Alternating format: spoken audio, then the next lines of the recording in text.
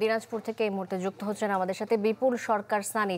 সানি, আমরা যেমনটি রিপোর্টটিতে দেখছিলাম যে আজ দেশে সর্বনিম্ন তাপমাত্রা রেকর্ড করা হচ্ছে দিনাজপুরে আট দশমিক আট ডিগ্রি সেলসিয়াস।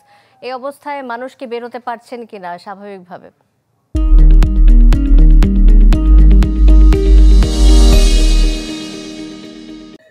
শান্তা, কনকনে শীত, পাশাপাশি হিমেল বাতাস এর প্রভাব।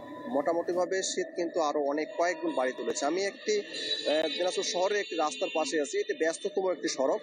আপনি সড়কে দেখবেন যে আসলে এই ব্যস্ততম এই সড়কে সবসময় কিন্তু যানজট লেগেই থাকে। কিন্তু আজকের পরিস্থিতিটা কিন্তু একেবারে ভিন্ন। সেই ধরনের লোকজন কিন্তু এখানে চলাচল করছে না এবং এটি এটি কিন্তু গত কয়েকদিন ধরেই এই অবস্থায় চলছে। খুব প্রয়োজন ছাড়া মানুষ কিন্তু ঘর থেকে বের হচ্ছে।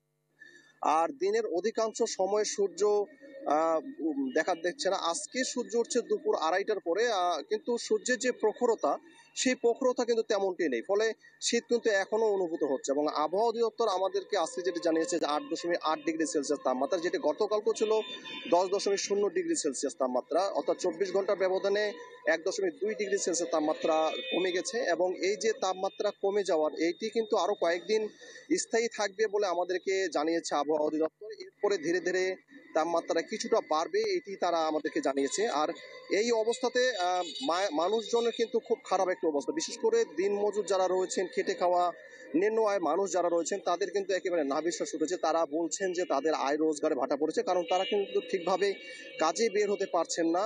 আর শীতজনিত বিভিন্ন রোগেও বয়স্ক এবং শিশুরা আক্রান্ত হচ্ছেন। একই সাথে কৃষিতে, এই কৃষিতে কিন্তু এই শীতের মোটামুটি বড় একটি প্রভাব পড়েছে। বিশেষ করে আলু, টমেটো খেতেও বেশ সমস্যা দেখা দিয়েছে। বড় বীজতলায় বড় বীজের যে অঙ্কুরোদ্গম সেটাও হচ্ছে না। যদিও কৃষি কর্মকর্তারা বলছেন যে এই বিষয়ে তারা প্রয়োজনীয় পরামর্শটা দিচ্ছেন। শান্তা? সানি, ধন্যবাদ আপনাকে। বিপুল সরকার সানি, দিনাজপুর থেকে যুক্ত হয়েছিলেন আমাদের সাথে।